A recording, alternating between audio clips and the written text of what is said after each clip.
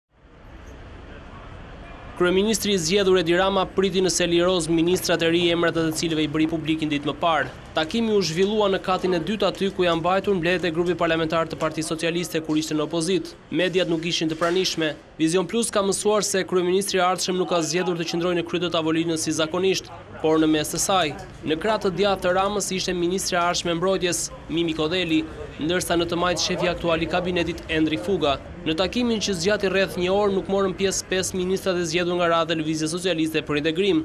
Mësohet se në këtë mbledhje, të parën si kabinet në pritje për të marrë detyrën, është diskutuar për punësimet në administratë, si dhe për punën që e pret qeverinë e re.